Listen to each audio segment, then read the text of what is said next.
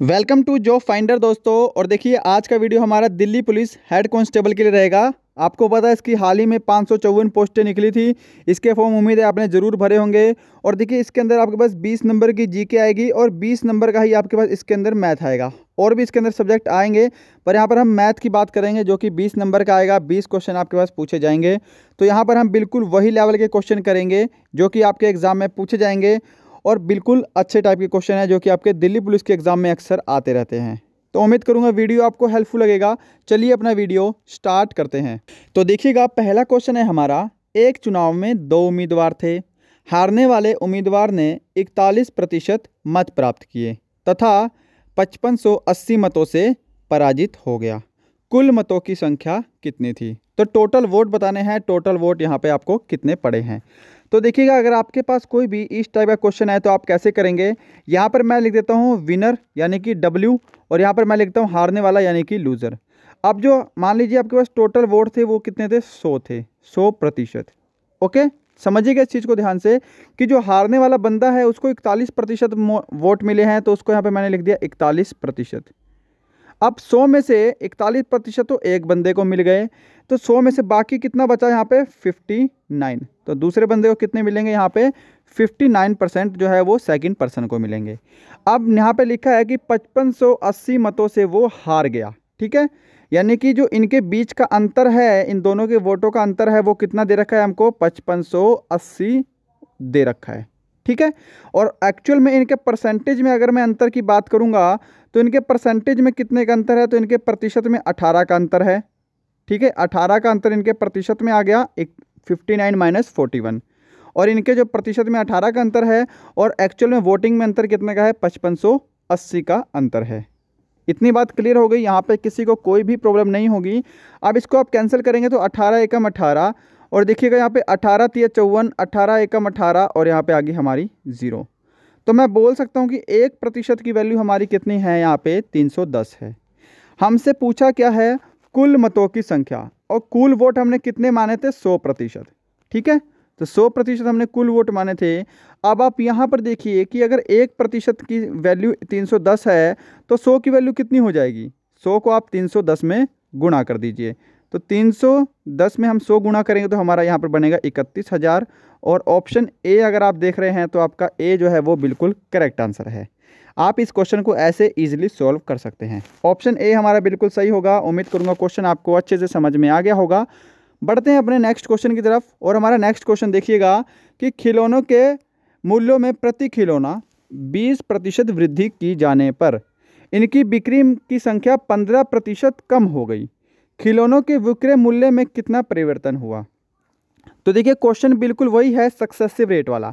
कुछ जो स्टूडेंट है, इसको x plus Y into X Y upon hundred इस तरीके से करते हैं बट हम इसको इस तरीके से नहीं करेंगे। हम बिल्कुल ऑथेंटिक और बिल्कुल जनवन तरीके से करेंगे, ताकि आपकी गलती के चांस बहुत ही कम हों।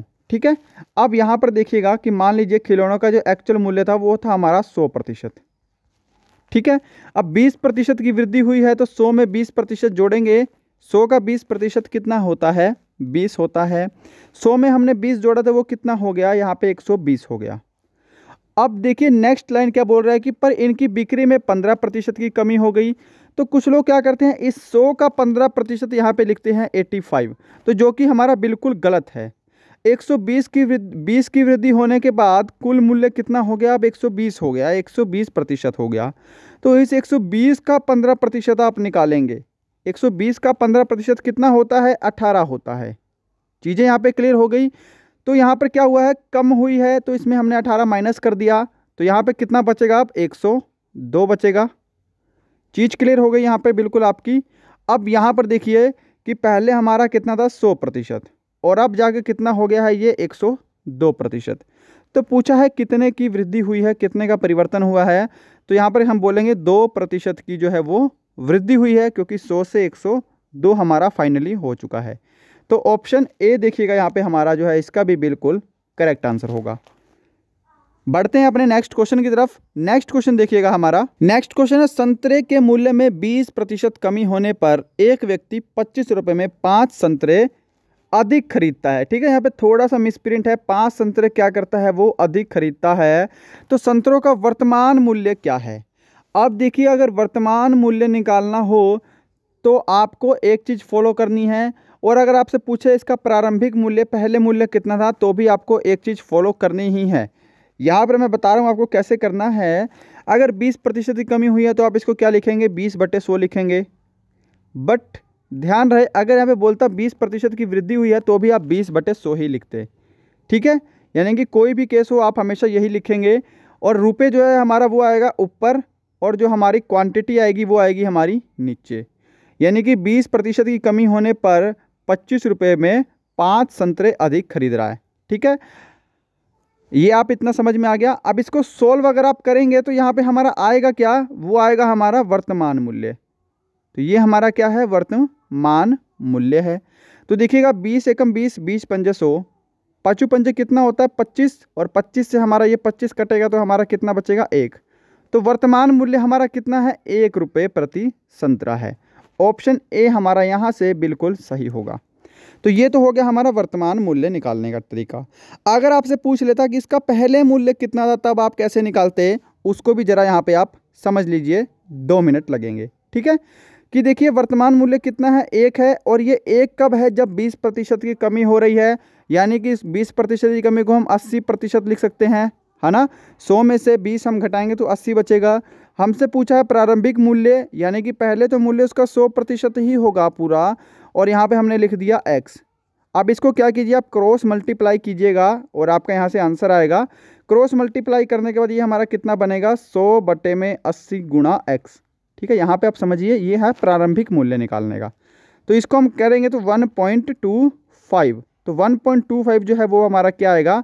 वो आएगा हमारा पहले का मूल्य।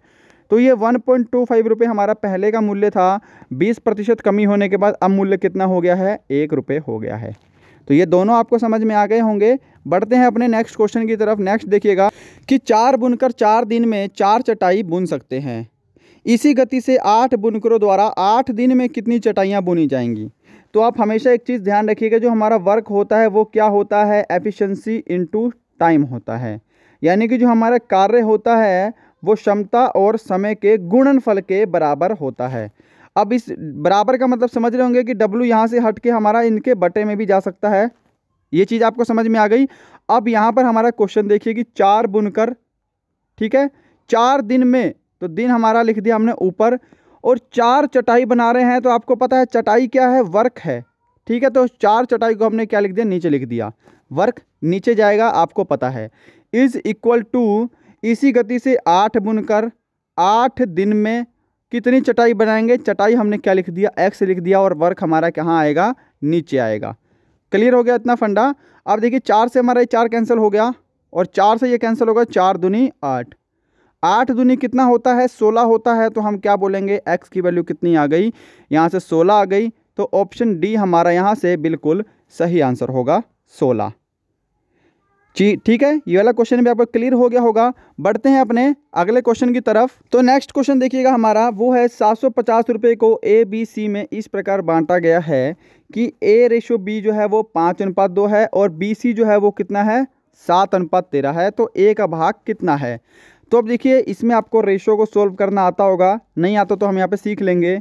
यहाँ पर मैं लिख रहा हूँ ए यहाँ पर मैं लिख रहा हूँ बी ये कितना है? फाइव रेशो टू है। यहाँ पर मैंने लिख दिया सी ठीक है? आप समझिएगा बी और सी की हम बात करेंगे तो बी हमारा कितना है? सेवन रेशो तेरह है तो बी के नीचे हमने बी लिख दिया और सी हमने यहाँ पे लिख दिया तेरह, ठीक है? अब इसको आप सोल्व कैसे भी कर सकते हैं। कैसे करेंगे? दो तरीके यहाँ तो आप देखिए, यहाँ पर दो है तो यहाँ पर आप दो लिख दीजिए। यहाँ पे सात होता है, आप यहाँ सात लिख दीजिए। और इनका आपस में आप गुणा कर दीजिए तो भी हमारा यहाँ से बिल्कुल सॉल्व हो जाएगा। तो देखिए, पंजू सत्य कितना होता है? पैंतीस होता है, सात दूनी कितना होता है? चौदह होता है, तेरह दूनी कितना होता है? छब्बीस होता है। ठीक है? अब देखिए, इसको आप जोड़ देंगे तो यहाँ पे हमारा कितना बनेगा? टोटल बनेगा ये सेवेंटी फाइव ठीक है?